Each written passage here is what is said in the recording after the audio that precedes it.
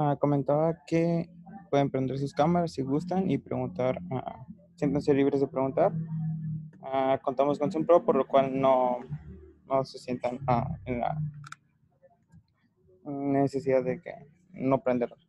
Bueno, la Asociación Médica Estudiantil de las Américas, AMEA, les da la bienvenida. Mi nombre es Javier Macías, soy el oficial local de educación médica y como inicio a este primer simposio sobre el manejo de líquidos, una perspectiva en el paciente quemado, les presentamos la ponencia Fisiología de líquidos y electrolitos en el cuerpo, impartida por el doctor Erwin Josam Pérez Cortés, doctor y maestro en ciencias fisiológicas por la Benemérita Universidad Autónoma de Puebla a lo largo de su trayectoria ha participado en la acreditación del doctorado en biomedicina molecular y la maestría en administración de servicios de salud de la ULAB.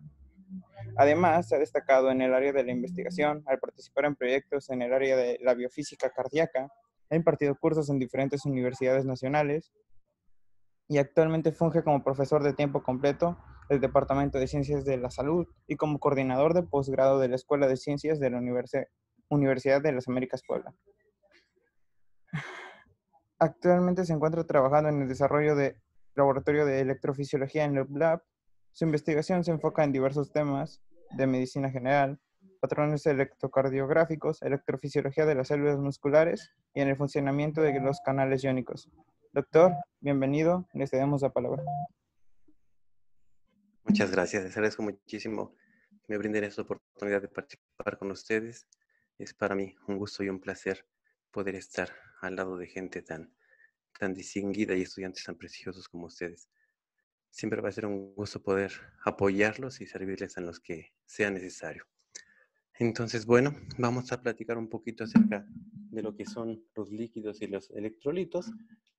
Este es un tema muy importante porque nos va a ayudar a entender algunas cosas esenciales para el cuerpo. Si pueden ver toda la pantalla, entonces tenemos una, una pantalla de presentación lo más importante que tenemos aquí es que entender que prácticamente el cuerpo y todas las células en sí están llenas de líquido. Ese líquido en particular tiene una gran cantidad de solutos que van a ayudar a cumplir diferentes funciones y debemos entender cómo es que se da toda esa interrelación tan compleja. Sabemos que en realidad entonces el cuerpo es, como muchos lo han llamado, un conductor volumétrico está constituido por una gran cantidad de células. Todas esas células contienen líquido, incluso los huesos y las matrices que están recubriendo las células. Y a su vez el agua está completamente repleta o interactuando con una gran cantidad de sustancias. Eso es muy importante porque nos va a permitir entender, entre otras cosas, que eso, ese líquido en sí mismo, junto con todo lo que tiene disuelto, realizan una gran cantidad de funciones para permitir que el cuerpo funcione como lo hace. De esta forma, entonces, ese líquido va a interactuar con los otros compartimentos con los que esté llevando a cabo esa interrelación. Y a través de esa interacción que se está produciendo genera desde una cosa tan sencilla como la protección de los epitelios, puede generar funciones tan específicas como permitir que las células creen corrientes iónicas que les permitan desplazarse a esas células generar movimiento, generar contracciones en sí mismas, o incluso lo que podemos hacer ya como seres un poco más dotados de muchas funciones, el realizar pensamiento, ¿no? el llevar a cabo funciones altamente especializadas que son gracias a la interacción entre todos esos líquidos. De ahí la importancia de conocer cómo es que se desarrolla todo esto en el cuerpo.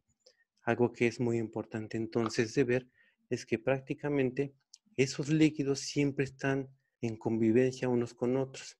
El cuerpo lleva a cabo una gran cantidad de procesos para que estos puedan desempeñarse en forma adecuada y mantenerse en forma óptima.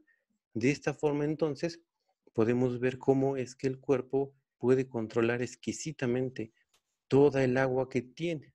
Tiene que tener un equilibrio entre la ganancia y la pérdida. Y eso lleva entonces a pensar cómo es que le hace el cuerpo para poder producir ese diferente tipo de función. Entonces, Sabemos por definición que las fuentes principales de agua las vamos a obtener a través de dos grandes vías. Toda el agua que llega a través de la vía digestiva, lo que llamamos la parte de ingestión, y que está dada entonces por todas las bebidas, el agua pura que tomamos, o los alimentos que en mayor o medida pueden, mayor o menor medida pueden contener diferentes cantidades de agua. La otra parte está dada por el metabolismo y el metabolismo también es una fuente importante. Y aquí tenemos entonces varias sustancias que nos pueden ayudar. El metabolismo de los carbohidratos, de los lípidos y las proteínas. Sabemos que en sí mismos los lípidos son los que más aportan agua este, durante su metabolismo. Los carbohidratos y las proteínas también van a aportar una pequeña cantidad. Entonces es muy importante tener en cuenta que esto va a depender principalmente entonces de qué tanto ingerimos nosotros en condiciones normales, una persona puede tener un volumen de ingesta entre 1500 y 3500 mililitros. Eso va a depender entonces mucho de la fuente que ustedes estén revisando, pero ese sería más o menos un estimado. ¿Qué puede hacer que varíe? Prácticamente desde situaciones como el hecho de que estemos ante la disponibilidad fácil de los alimentos o situaciones en las cuales estemos arriesgándonos y estemos en una zona donde no haya tanto alimento. Entonces va a depender de eso principalmente. Por eso la variabilidad que tiene. Habrá quienes tomen mayor o menor cantidad de agua en función a sus necesidades. La otra parte es la pérdida. Aquí tenemos varias vías por donde nosotros podemos perder agua. De ahí la importancia de identificarlas muy bien, porque son las principales vías a través de las cuales el agua puede ser eliminada del cuerpo. Entonces, las cuatro grandes zonas por las que podemos perder agua van a incluir a la parte renal, a la parte digestiva, a la parte tegumentaria y a la parte del sistema respiratorio. La que representa en sí misma la mayor cantidad de agua o la que puede eliminar grandes volúmenes es la vía renal. Eso es en condiciones normales. Podríamos tener una pérdida hasta de 2.000 mililitros en un día en condiciones normales. Pero sabemos que también hay dificultades o cosas que pueden hacer que esa parte presente una elevada pérdida de agua. De ahí entonces la importancia de entender cómo es que se comporta el riñón para poder controlar esos volúmenes de agua. Y la mayor cantidad del control de agua se da a través de la hormona antidiurética, que puede ocasionar grandes problemas si no la tenemos presente o si tenemos una resistencia a esa hormona. La parte respiratoria y la parte tegumentaria prácticamente tienen el mismo volumen en cuestión de pérdidas, pero aquí la podemos dividir en dos. La que nombramos comúnmente como la pérdida insensible, es decir, todo el tiempo se está produciendo sin necesidad de que hagamos algo específico. Esto lo comparte tanto la parte de la piel como la parte respiratoria y más que nada se debe a la difusión de las sustancias que están en el cuerpo y principalmente entonces del agua el agua en sí misma puede abandonar el cuerpo muy fácilmente a través de la difusión entre las capas de la piel o mucho más fácilmente a través del sistema respiratorio. La otra parte es la pérdida que llamamos activa y esa es principalmente por la piel y es lo que llamamos comúnmente el sudor. Cuando una persona incrementa su temperatura, una forma de termorregularse es a través del sudor y entonces eso permite que se elimine agua y por lo tanto estamos eliminando una gran cantidad de calor también al mismo tiempo. Nuevamente, aquí tenemos diferentes cosas o diferentes situaciones que pueden hacer que esto cambie. La parte de la piel es muy importante porque recubre la mayor parte del cuerpo. Sabemos que esta es una capa de protección. Si en algún momento le llega a pasar algo a la piel y se pierde esa capa, entonces podemos perder una gran cantidad de agua. De ahí entonces la importancia. Ustedes saben que a mayor cantidad de superficie corporal en la piel que se pierde, entonces perdemos un gran volumen. Eso es lo importante de acá. Y la parte respiratoria ocurre lo mismo, sobre todo cuando vamos a lugares donde varía la temperatura. Saben ustedes que cuando nosotros estamos inspirando y expirando, lo que ocurre aquí es que se está humedeciendo, se está humidificando el aire que ingresa a los pulmones. Cuando el aire sale, esa agua no se puede recuperar. De ahí estamos perdiendo un volumen este, bastante alto de agua. Y si nosotros tenemos un evento en el cual aumente la frecuencia respiratoria o vayamos a zonas donde hay menos humedad, entonces va a haber una mayor pérdida de agua. La vía digestiva es en la que menos se pierde agua. Sabemos que al final de cuentas, durante el funcionamiento este, propio del sistema digestivo se está invirtiendo hasta a veces en ocasiones 7000 mililitros de agua para poder llevar a cabo toda la función de este sistema, la mayor parte es reabsorbida, de tal forma que al final de cuentas solamente queda un pequeño volumen que es excretado en las heces. Entonces hay que tener mucho en cuenta esto, porque aquí también tenemos oportunidades de que este sistema sufra alteraciones que nos lleven a una mayor pérdida de agua. Los ejemplos más típicos, el vómito y la diarrea, ambos comparten una pérdida muy grande de agua si tenemos problemas al respecto acá. ¿Cuál es la dificultad de esto? Que van a ser diferentes líquidos. No es lo mismo que una persona tenga vómito a que una persona tenga diarrea. Entonces va a ser muy diferente el resultado que obtengamos al final de ese proceso. De la importancia de interactuar rápidamente con las personas en cualquiera de las situaciones, ya sea renal, piel, digestivo o respiratorio. Entonces hay que tener mucho en cuenta estas cifras para que no tengamos dificultades en la persona que estemos tratando. Algo que es muy importante de recordar es cómo se distribuye el agua en el organismo. A grandes rasgos podemos decir que una persona en condiciones normales, ya en un adulto, tiene en promedio entre un 50 y un 70% de agua. Eso es una forma de verlo fácilmente. Lo que hacen la mayoría de los libros es entonces estandarizar esa cifra y dejarlo a la mitad. Por eso muchos libros tienen esa referencia, el, el, agua corporal total, el volumen total de agua que tenemos en el cuerpo es de alrededor del 60%.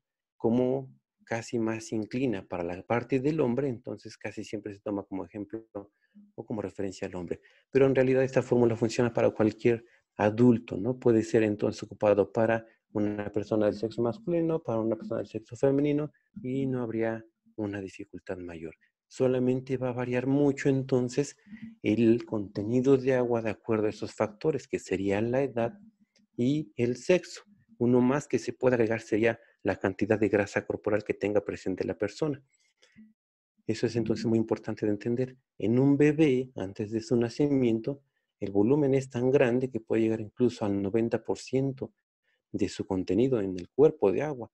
Un bebé recién nacido, pues va a tener un volumen que llegue casi hasta el 80% y se va a ir disminuyendo conforme va avanzando en su edad. Ahí sí tenemos que tener un poco más de cuidado en el manejo de estos volúmenes la pérdida de apenas 100 mililitros es un volumen industrial para un bebé, ¿no? Va a llevar a consecuencias muy graves y tenemos que tener mucho cuidado con eso. En las personas adultas, en los adultos mayores, ya tenemos un menor porcentaje. Y en algunas ocasiones podemos ver que el 45% se aplica también para las personas del sexo femenino o para las personas que tengan un exceso de tejido graso en el cuerpo. Entonces, esas cifras las tenemos que tener mucho en cuenta. Pero si memorizamos el del 60%, como viene en todos los libros, con eso sería suficiente, ¿no? Un 60% que tenemos en el cuerpo y esa cifra nos va a servir para muchas cosas. Vamos a ocupar entonces un modelo para describir cómo se distribuye el agua en el cuerpo. Este modelo es muy sencillo, ¿no? Realmente está representado solamente por células, que es la parte que corresponde entonces a lo que está formando todo el cuerpo, y espacios, espacios llenos de líquido que están rodeando a esas células o que transitan entre esas células. De esa forma entonces es fácil dividirlo, porque tendríamos un espacio intracelular, perdón, y un espacio extracelular. Esto es importante entonces. El intracelular, como su nombre lo dice, es muy fácil de definir y de ver, ¿no? Pues todo lo que está dentro de las células. En cambio, el extracelular es un poquito más complicado porque se divide a su vez en varios este, fragmentos o en varios espacios. El primero sería el intersticial. ¿Eso qué significa? Todo aquello que esté rodeando a las células. Entonces, todo el líquido que esté rodeando a nuestras células lo vamos a llamar espacio intersticial o el líquido que está en los intersticios. El otro espacio que nos quedaría entonces será todo lo que circule por los vasos sanguíneos, que es entonces lo que llamamos plasma, el plasma sanguíneo. Y después de esto queda el espacio que no está ni entre las células, pero tampoco está en los vasos sanguíneos. A todos estos líquidos que encontramos los llamamos entonces el espacio transcelular o lo que queda fuera de estos dos lugares que mencionamos anteriormente. Aquí podemos incluir a varias de las cavidades, por ejemplo, la cavidad pleural, la cavidad pericárdica, todo eso que no entre dentro de los anteriores, ¿no? Hay las este, cavidades sinoviales, incluso podemos meterlas acá, Y algunas referencias, algunos libros. Les pueden mencionar otro más, que ese es mucho más raro de encontrar y que algunos los incluyen en algunos de los otros anteriores, ¿no? Que en este caso incluye la matriz ósea y cartilaginosa. ¿Por qué casi no lo encontramos en las referencias?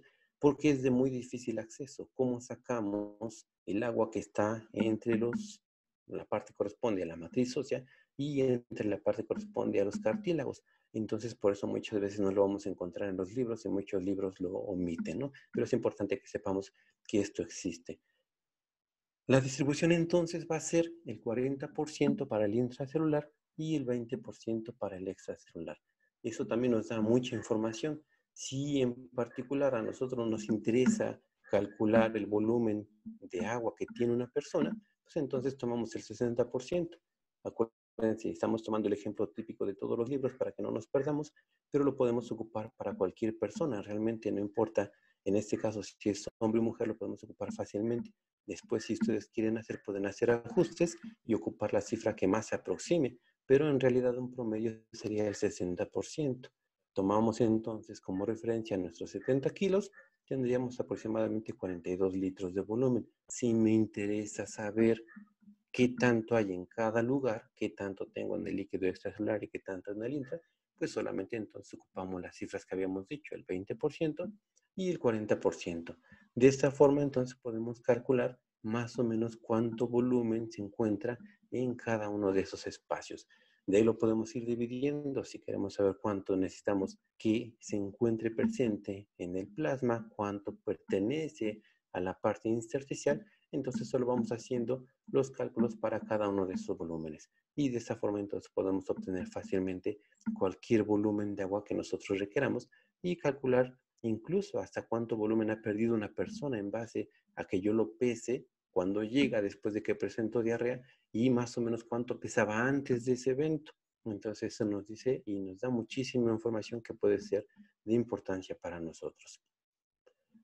Si tomamos entonces este modelito que decíamos hace rato de nuestras células en todo el cuerpo, que está dividido en diferentes espacios, y ahora le vamos a poner los solutos, entonces ponemos los tres espacios principales que va a ser el plasma, el inserticio, el espacio intracelular y los solutos más importantes. Estos son los solutos que vemos acá, los que van a participar en muchas reacciones dentro de nuestro cuerpo.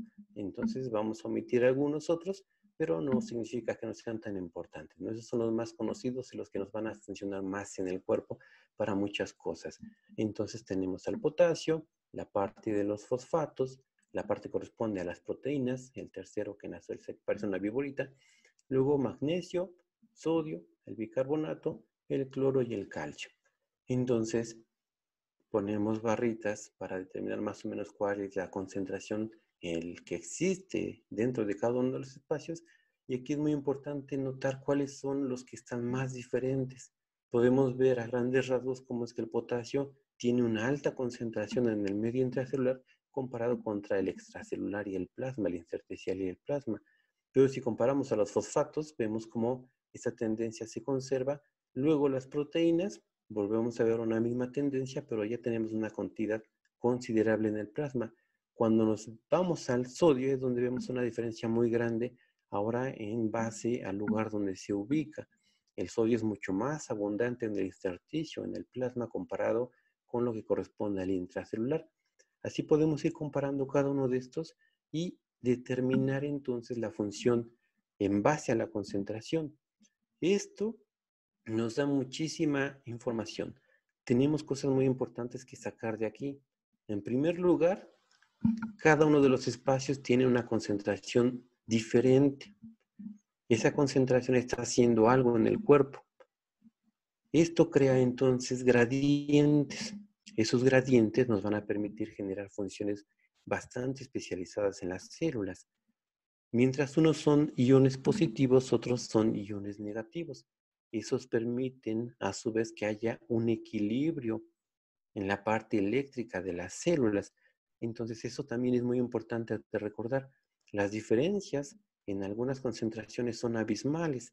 Entonces eso genera una energía potencial muy grande que va a permitir que se muevan las cosas.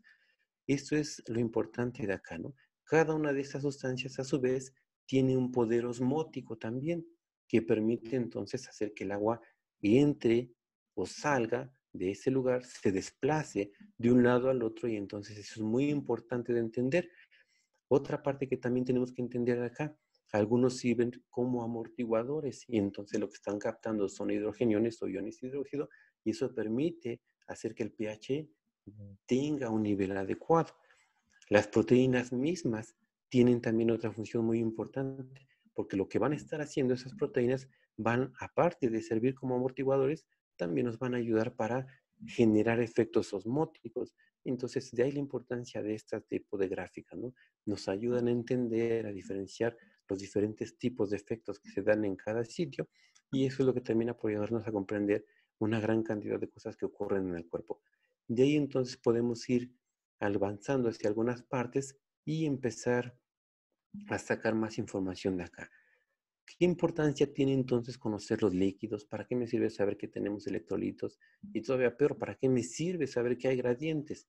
Bueno, esto lo ocupamos para muchísimas cosas en el cuerpo. El cuerpo lo utiliza todos los días, cada segundo ¿Qué pasa? Están ocurriendo una gran cantidad de reacciones dentro del cuerpo que nos permiten mantenernos vivos, que nos permiten realizar cada una de nuestras actividades. Incluso podemos tomar sangre de una persona y entonces determinar cuál es la concentración que tiene de cada uno de estos iones dentro. ¿no? En base a eso yo puedo crear una sustancia que me permita restituir ese líquido. El ejemplo más típico es esa solución fisiológica o esa solución de cloruro de sodio que me permite reponer líquidos a una persona. De ahí en fuera, entonces tenemos muchísimas soluciones que sirven para cada fin diferente. Luego, los gradientes mismos me van a ayudar a generar entonces un transporte de sustancias. El hecho de que tengamos una mayor concentración en uno de los compartimentos hace que se arrastre esa sustancia hacia el compartimento contrario. Al mismo tiempo que pasa esa sustancia, puede arrastrar a otra y entonces esto ya toma un nombre diferente que me va a permitir llevar a cabo funciones diferentes. Puedo pasar sodio y a la vez arrastrar una cosa diferente, como por ejemplo la glucosa, los aminoácidos, o al contrario, sacar cosas de la célula. Yo arrastro sodio hacia el interior, dado su gradiente, y entonces lo que hago es sacar potasio para evitar que se nos acumule. Algo también muy importante que es un gradiente y que atraviesa también por este tipo de medios que es entonces el hecho de tener un gradiente de agua. El hecho de que exista ese gradiente de agua permite que el agua pase de un lugar al otro y eso puede tener consecuencias bastante graves para una célula porque va a hacer que varíe su volumen. Otro fenómeno muy importante que se lleva a cabo gracias a todo este comportamiento entre líquidos y electrolitos es lo que conocemos como las partes eléctricas de una célula, ¿no? La parte de la generación de señales eléctricas y uno de los más importantes que tenemos va a ser nuestro potencial de membrana en reposo, que se debe a esta diferencia de iones que están a un lado y al otro de la membrana.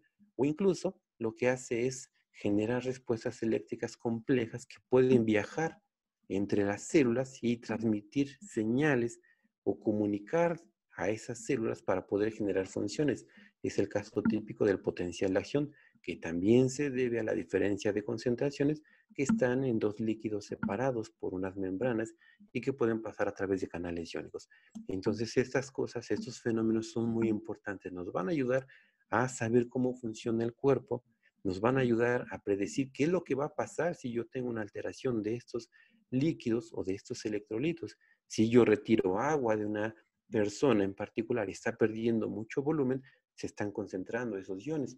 Al contrario, si yo estoy ingiriendo grandes cantidades de este tipo de elementos, entonces vamos a empezar a acumular iones que tienen efectos de diferente naturaleza. Casi siempre los más inmediatos son los de naturaleza volumétrica que permiten que se expandan los compartimentos. Pero hay respuestas que son muy graves y que pueden hacer que se impidan las señales eléctricas y eso puede llevar, a final de cuentas, a la muerte de una persona. De ahí la importancia de esto. Entonces, eso es muy importante. Hasta aquí no sé si tengan alguna duda o algo que quieran comentar. Chicos, aprovechando el espacio, si tienen alguna pregunta, pueden encender sus micrófonos o pueden escribirla en el chat y nosotros le hacemos llegar las dudas al doctor.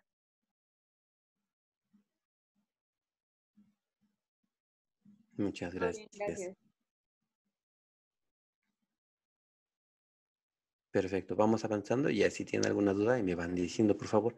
Muchas gracias. Entonces, vamos a tener un ejemplo muy sencillo, algo muy sencillo que nos permite entender cómo se comporta el agua. Eso es de los fenómenos más importantes que ocurren en los sistemas biológicos. Ponemos un modelo muy sencillo, es solamente una membrana que separa dos compartimentos, tiene agua y unos canales que permitan el paso del agua. En esta condición inicial, estamos partiendo del principio de que tenemos la misma cantidad de moléculas a un lado y al otro de la membrana. Es decir, tenemos acá en el ejemplo 9 y 9. Si nosotros tenemos esa condición, entonces no tendríamos tanto problema. El problema es que la mayoría de las veces tenemos solutos presentes. La mayoría de esos solutos que se mueven en estos líquidos no pueden pasar de un lado al otro tan fácilmente utilizando canales adecuados podrán lograrlo, pero en condiciones normales necesitan un canal adecuado. En este caso, como ese canal es exclusivo para el agua, ese soluto no va a poder pasar a través de este canal. Pero la condición es que ese soluto sí pueda interactuar con el agua, es decir, que pueda ser entonces soluble. Como tenemos entonces un soluto soluble, ese efecto en particular va a permitir que nosotros tengamos una disminución en la cantidad de moléculas de agua libre, porque estamos haciendo que esas moléculas de agua rodeen al soluto. Eso tiene un impacto muy grande, porque si se dan cuenta, ahora tenemos un exceso de moléculas de un lado comparado con el otro. En un lado tenemos nueve moléculas libres y de este lado tenemos cinco. ¿Eso qué efecto va a tener? Pues entonces que se va a crear particularmente en esta situación algo que llamamos gradiente. Esos dichosos gradientes son exceso en la parte que corresponde a lo que nosotros conocemos como concentraciones o energía potencial, porque entonces de un lado vamos a tener mayor concentración comparado con el otro. Y eso es entonces algo que puede ser bueno o malo, depende de la situación. En este caso, como tenemos un sistema imaginario, algo que sacamos de nuestra cabeza, para ejemplificarlo, entonces lo que va a empezar a ocurrir es que este tipo de comportamiento genera movimiento. El movimiento entonces de las moléculas de mayor concentración hacia una menor concentración. Cuando se empiezan a mover las moléculas, eso va a tener un impacto muy grande en todo este sistema, porque al abandonar las moléculas de agua y dirigirse al otro compartimento, eso va a implicar un cambio en el volumen. Esto se va a detener hasta que nosotros alcancemos un equilibrio en base a la concentración, es decir, en el momento en que lleguemos a siete moléculas de cada lado. Pero el problema principal de todo esto es que el volumen varió. Esto entonces tiene consecuencias muy graves, porque si nosotros estamos hablando de una célula, esa célula que está perdiendo ese volumen se está haciendo pequeña. O esa célula que está ganando, al contrario, ese volumen de agua se está haciendo grande. Si es un eritrocito, pues las consecuencias pueden ser bastante graves porque va a estallar o se va a hacer pequeño. Hay que tener mucho cuidado entonces con esto. Si es una neurona, se imaginan lo que va a pasar. La neurona está contenida en un espacio, en el cerebro mismo, en la médula, que no se puede expandir tanto. Si eso ocasiona un edema de todas las células, las células van a empezar a morir. Casi siempre un indicativo de que una célula va a morir es cuando se empieza a edematizar eso es una consecuencia muy grave. El equilibrio en este fenómeno llamado osmosis se alcanza a expensas de una variación en el volumen. Entonces la osmosis es un fenómeno muy interesante y que debemos de conocer muy bien. Cuando nosotros agregamos, movemos solutos o el agua misma, estamos ocasionando este fenómeno. Y al final de cuentas estamos ocasionando problemas muy grandes para nuestras células una célula en particular que está colocada en una solución que tiene la misma concentración que el plasma o algo isoosmolar, no va a tener ningún problema y va a conservar su tamaño. Pero si yo muevo a esa célula hacia una solución que tenga diferente osmolaridad que la del plasma, una mayor o una menor, voy a ocasionar diferentes efectos sobre esa célula.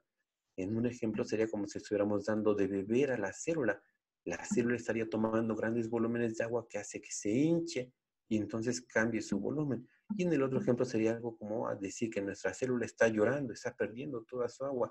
en esas lágrimas, cada vez que saca una lágrima, está perdiendo entonces un volumen de agua. Eso hace que mi célula se haga cada vez más pequeña y entonces va a ser muy diferente la función. Una célula que tiene un tamaño más grande no puede pasar adecuadamente por un vaso que tiene un tamaño adecuado para ella y entonces generalmente tienden a romperse. Una célula pequeña entonces no va a poder transportar la misma cantidad de elementos y no va a realizar esa función adecuada en el transporte de sustancias.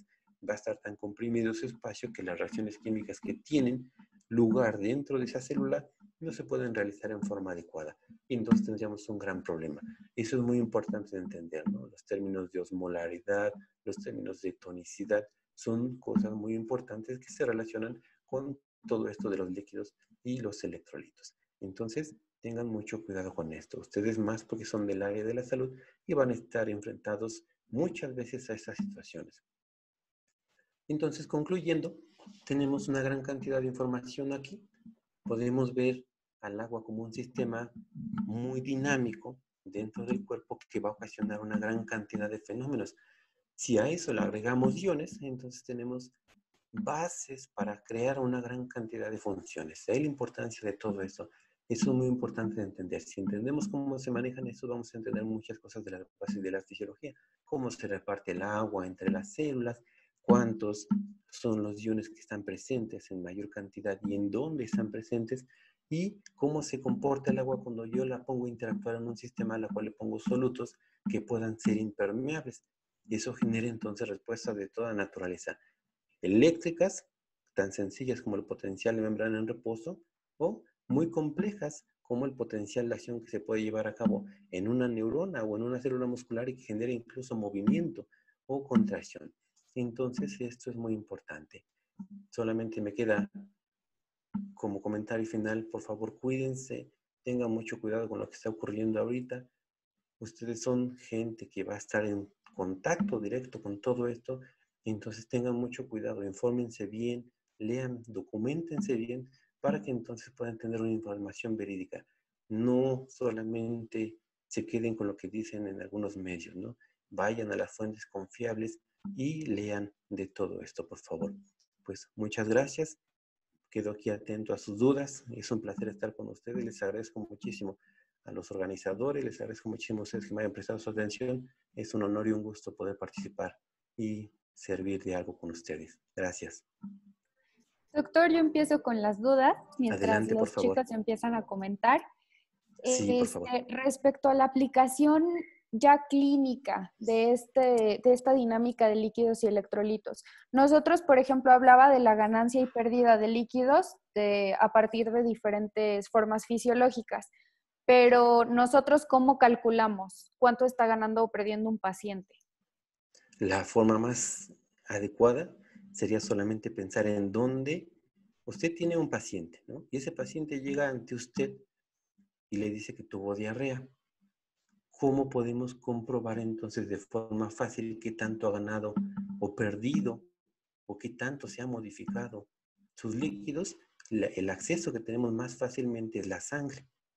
Y la sangre entonces contiene al plasma y ese plasma contiene el reflejo de prácticamente todas las concentraciones desde agua hasta la parte que corresponde a los solutos, e incluso solamente con revisar el sodio, qué tanta concentración de sodio tiene en la sangre esa persona, sería un indicador muy exacto de lo que está ocurriendo. En base a eso podemos calcular cuánta agua ha perdido, cómo la ha perdido, incluso si los iones, ¿no? Eh, casi siempre pedimos los electrolitos, entonces ahí nos va a incluir potasio, sodio, calcio, magnesio. Por eso decíamos en esa figurita, de hace rato, ¿no? ¿Qué tanto es importante tener esos iones? Vamos a revisarlo un poquito. A disponibilidad para que nosotros entonces tengamos un ejemplo típico de este tipo de comportamiento. Nosotros entonces solamente con ver en la clínica pedimos un laboratorio y en base a ese laboratorio nosotros podemos decir, bueno, entonces esta persona puede tener una deficiencia en determinado ion y entonces en base a eso que yo estoy obteniendo podemos calcular cuál es la solución adecuada que nos va a permitir reponer esos volúmenes si requiere algo en particular. No sé si ha quedado un poquito clara mi explicación. Sí, bastante clara, muchas gracias. Eh, otra pregunta es, ¿qué tanto podemos confiar en la pérdida de líquidos por la orina? Porque normalmente cuando nosotros administramos líquidos a los pacientes, medimos qué tanto líquido están, eh, pues, excretando de alguna forma. Sí, en condiciones normales es un volumen muy fiable. El problema es cuando nos enfrentamos a alguna situación como la que usted menciona, ¿no? algo en la cual ya tenemos una persona que está internada y entonces estamos administrando soluciones. Una forma muy fácil de hacer este tipo de cálculos es siempre medir qué tanto está orinando la persona.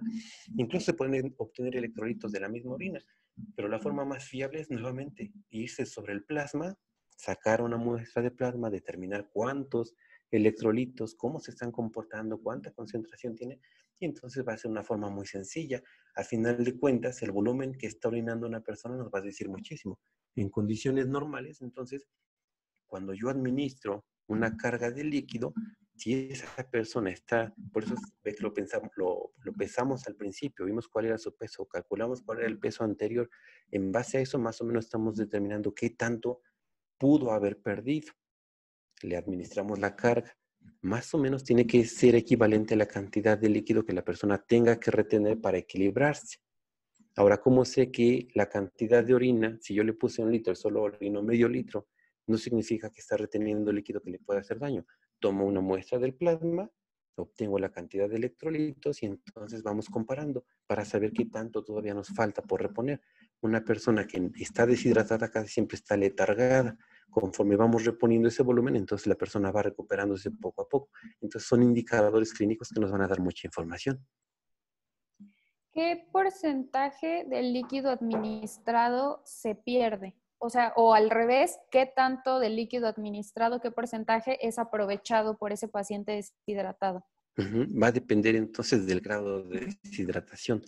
No podríamos decir que existe una cifra exacta, porque no va a ser lo mismo que yo le administre a una persona que, que tuvo vómito, a una persona que tuvo diarrea. Acuérdense que eso va a depender mucho de la cantidad de iones que se han perdido y por lo tanto qué tipo de ion está más afectado. Alguien que hizo demasiado ejercicio tan intenso, que sudó demasiado o que estuvo deshidratado en el desierto. Entonces va a depender mucho de la persona en sí misma no podría decirle una, una este, cifra exacta, porque lo más seguro es que se equivoque uno al intentar determinarla. ¿no? Entonces va a depender mucho de la situación y de la evolución de la persona misma. La función renal también es demasiado importante. Cuando una persona se somete a este tipo de este, padecimientos, desafortunadamente el riñón sufre demasiado. ¿Se acuerdan que cuando nosotros perdemos volumen, el riñón lo primero que hace es cerrar la llave? El problema no es que cierre la llave, el problema es que al cerrar la llave se limita el flujo sanguíneo. Al limitarse el flujo sanguíneo, saben que el riñón es de los más exigentes. Y entonces eso estaría haciendo que esa persona entre en una insuficiencia renal aguda. Y entonces la función renal va a disminuir. Va a depender mucho de esas cosas, ¿no? De cómo evaluemos a la persona. En una persona sana es más fácil de predecir esto pero con algunas variables también, no va a depender de qué tanta función renal tiene antes y después del evento, cuando yo le estoy administrando la carga. Entonces sería muy difícil tratar de decir una cifra exacta. Muy bien, doctor. También por aquí preguntan, en cuanto a un nivel de deshidratación severa en, en un paciente pediátrico, ¿cómo actuarían los líquidos para ir compensando esa deshidratación? Muchas gracias. Sí, sería parecido a lo que estábamos explicando ¿no? En los, este, nuestros chiquitines, los bebés, lo que termina pasando es que en ellos al principio tienen un funcionamiento renal menor, por eso hay que tener mucho cuidado. Y eso es decir menor porque lo estamos comparando contra el del adulto. En realidad tienen un funcionamiento renal adecuado a su masa corporal, adecuado a su tamañito y a la función renal en sí misma que tiene el recién nacido. Entonces hay que tener mucho cuidado con eso, ¿no? Siempre en los bebés tenemos que calcular en forma diferente y casi siempre en ellos se calcula en base a cada uno de los iones.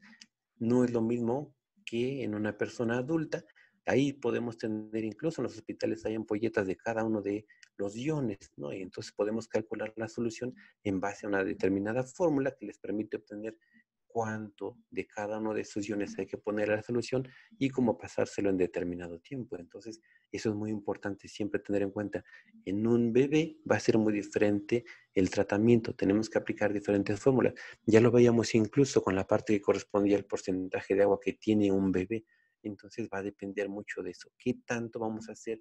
¿Cómo le vamos a administrar eso? ¿Cuántos de los iones necesitamos para poder llevar a cabo esta función? Muy bien, doctor, muchas gracias. También preguntan, doctor, ahorita por la situación de coronavirus, he notado que muchos pacientes están consumiendo test y están reemplazando el agua. Sabemos que no brinda la misma hidratación, pero fisiológicamente, ¿cómo afecta que las personas reemplacen esa toma por infusiones? Realmente no hay mucho problema, ¿no? Mientras no sea un té prohibido, por así decirlo, no una sustancia que sea dañina para el cuerpo, la mayoría de, los, de las sustancias son nobles, ¿no? La mayoría de los test que tenemos a disposición son test muy comunes, podemos decir por alguno el manzanilla, el, este, el té limón, no sé, hay muchísimas variedades. No se ha demostrado hasta ahora que esos test tengan un efecto este, grave sobre las personas. Incluso hay quien ocupa, por ejemplo, el, el, té de Jamaica, el agua de Jamaica como diurético. Entonces, realmente no hay problema en ese aspecto porque estamos ocupando el mismo tiempo. Mucha gente lo que ha optado es por evitar las bebidas frías y tomar cosas muy calientes, creyendo que esa es una forma de evitar o mitigar el virus, ¿no? Entonces son creencias que hasta ahorita no tienen como que un fundamento científico este, tan estudiado, pero que no hacen daño a nadie, porque realmente estamos tomando un líquido caliente, a final de cuentas ese líquido es agua, y si estamos tomando la misma cantidad, es decir, yo tomaba dos litros de agua al día, pero ahora tomo dos litros de té al día, no va a pasar mucho. Hay que tener solamente cuidado con los tés ricos en cafeína, porque la mayoría de los tés hay sustancias que incluyen, o de esos tés tienen cafeína o las teofilinas famosas, ¿no? Metiljaltina. Hay que tener cuidado entonces con esto, porque lo que va a pasar es que a lo mejor se pongan un poquito más activos, pero de ahí en fuera, y eso va a ser en personas sensibles, hay gente a la que no le hace nada el té, no puede tomar muchísimo y muy concentrado y no pasa nada, ¿no? Al contrario, algunos creen que esto es un, diurético y les va a ayudar, aparte del sistema digestivo, a la misma este, volumen de orina. Otra cosa muy importante, el exceso de agua que estamos tomando también va a, este, a favorecer el funcionamiento del sistema intestinal y eso evita el estreñimiento. Entonces, realmente no, no habría problema en ese aspecto, ¿no? no va a impactar. Hasta ahora hay sustancias que sí son peligrosas, ¿no? Solamente les digo, hay que tener cuidado con esos test que no sean reconocidos. Hay que tomar los que se conocen bien, los que ya se han estudiado, porque hay test que pueden ser peligrosos y pueden este, hacer daño, ¿no? Hay que tener mucho cuidado con eso.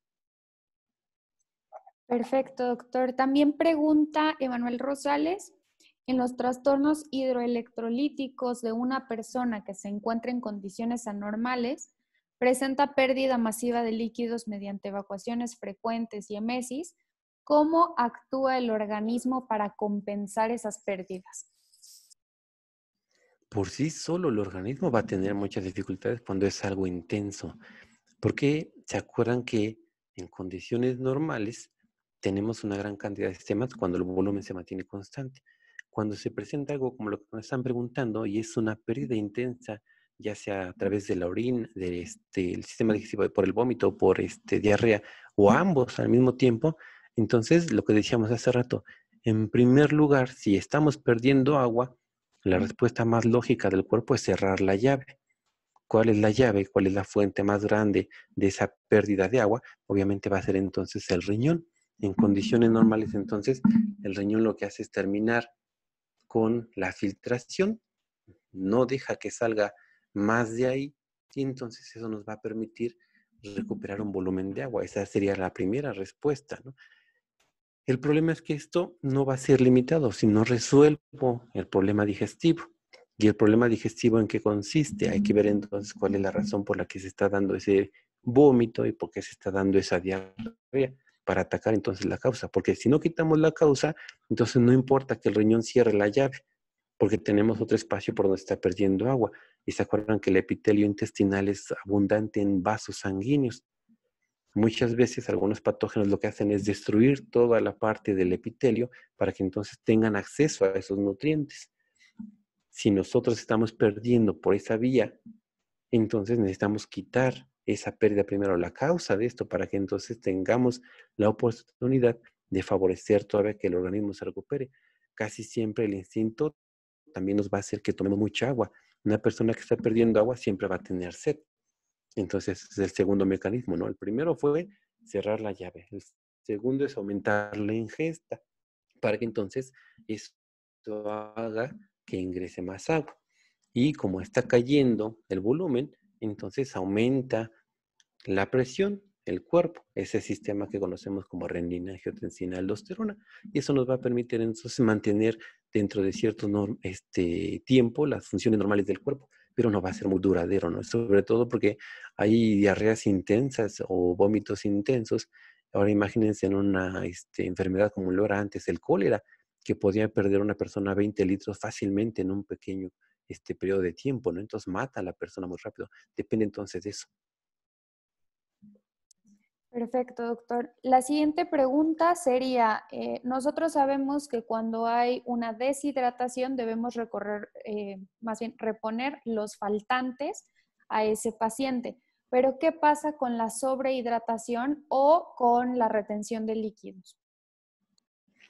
En ese caso, entonces, lo que tendríamos que hacer, ya vimos que la osmosis es el movimiento del agua de donde haya mucha, donde hay poca.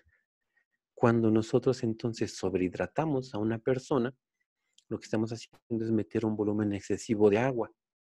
Lo mismo hacemos, tomamos una muestra de sangre, determinamos cómo están los niveles de electrolitos y entonces de esa forma podemos ver fácilmente qué es lo que tenemos que hacer, qué tipo de solución tenemos que hacer. En particular, entonces lo que necesitamos es crear un gradiente, hacer que el compartimento al que yo quiero que se vaya el agua tenga algo diferente, tenga menor cantidad de agua, porque estoy asumiendo que si lo sobrehidraté, entonces tiene mucha agua en ese compartimento. Pongo entonces una solución que tenga ahora una menor cantidad de agua. ¿Cómo le hago? Entonces calculamos una solución que tenga mayor cantidad de sales, algo que sea hiperosmótico. Eso hace entonces que el agua abandone esos compartimentos, se dirija hacia el sistema vascular y el sistema vascular tiene entonces comunicación con el riñón y el riñón es el que se encarga fácilmente de eliminar. La otra forma ya es con medios más agresivos, como un diurético, por ejemplo. Entonces así nos deshacemos del exceso de agua que hayamos llevado a la persona o que la persona haya tenido en algún momento dado que haga que su espacio se expanda. Esa sería entonces la solución más fácil, ¿no? Los diuréticos. Muy bien. Y para terminar con las preguntas, sí, eh, muchas gracias. ¿Cuál sería, eh, en qué uso se daría a los diferentes tipos de, soluciones? Mencionaba de acuerdo a si queremos algo este, hiperosmótico, ISO, etcétera. Sí, esto va a depender mucho de, de la situación, ¿no? Vamos a preferir entonces primero saber qué es lo que está pasando. Tengo una persona que le hace falta agua, tengo una persona que le hacen falta electrolitos. En base a eso entonces vamos a decidir una solución que me permite entonces restituir fácilmente este tipo de elementos. En condiciones de una persona que ha perdido mucha agua por vía digestiva, ya sea entonces por vómito o por diarrea, necesito saber primero qué es lo que perdió. Casi siempre la parte que corresponde al vómito va a ser más enfocado hacia el cloro y hacia el sodio y la parte de la diarrea va a ser más enfocada hacia el potasio hacia el bicarbonato. ¿no? Entonces va a depender mucho de eso. Una persona que sudó mucho, entonces casi siempre va a ser a expensa de algo que se parezca mucho al plasma. Entonces necesito primero determinar cuál es la causa. Luego así entonces decidimos qué solución voy a ocupar. Necesito mover agua hacia el interior de las células. Pongo una solución que tenga una mayor cantidad de agua que de sales para que entonces el agua se desplace por gradiente y vaya hacia las células. Al contrario, necesito una, tengo una situación en la cual la persona tiene mucha agua, entonces creo un gradiente para que el agua se dirija de las células hacia el interior de los vasos y por lo tanto hacia el riñón. Entonces es prácticamente solo memorizar estos aspectos, entender esos aspectos. ¿Qué pasa con las soluciones? ¿Cómo yo tengo que entender que el hecho de que una solución jale agua o haga que el agua se desplace hacia el lado contrario? De esta forma, entonces yo puedo obtener fácilmente la respuesta. ¿Qué le pasó a mi persona? Por eso es tan importante la historia clínica, ¿no? Preguntar exactamente qué fue lo que pasó, cuándo empezó, cuáles fueron las manifestaciones, la edad misma, el peso mismo, ¿no? Eso es lo que decíamos hace ratito. ¿Qué factores son los más importantes? ¿Cuáles son los iones más importantes que nos van a servir para controlar estos procesos? Y así podemos decidir de una forma lo más adecuada y exacta posible. Tenemos muchísimas variables, es cierto, ¿no? Puede haber cosas que hagan que cambie esto, entonces hay que tener mucho cuidado con eso. Solamente hay que tener la atención o la destreza de preguntar en forma adecuada y de elegir la solución adecuada. Acuérdense nada más de esa situación. ¿Cómo le hace el agua para moverse de un lado al otro? Siempre siguiendo su gradiente de concentración. Es un tipo de difusión. Va de donde hay mucha agua hacia donde hay poca agua. Entonces eso es muy importante de entender. Perfecto, doctor. Muchas gracias. No, al contrario. Bueno, si ya no hay más preguntas, es momento de agradecerle al doctor Erwin por este gran taller que estamos seguros será de gran utilidad para todos nosotros. También agradecemos su apoyo y su sincero interés por nuestra educación. Por parte de AMEA, les damos las gracias por asistir y no olviden registrarse en el pase de lista que se los haremos llegar en los, a los grupos de WhatsApp en los próximos 5 a 10 minutos. Y por último, les recuerdo que en el simposio se se contemplaron tres ponencias. La primera fue el día de hoy, la segunda plática será el 19 de agosto a las 10 a, las 10 a.m. y los invitamos a asistir. Además, también los invitamos a seguirnos en nuestras redes sociales para estar al tanto de futuras actividades y publicaciones que realizaremos para todos ustedes.